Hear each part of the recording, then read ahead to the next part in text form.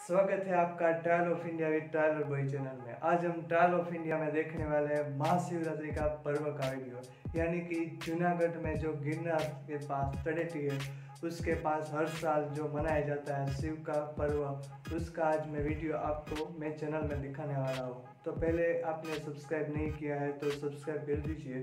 फिर आप वीडियो देखिए और अपने मेरे कमेंट बॉक्स में ज़रूर बताइएगा उसका रिव्यू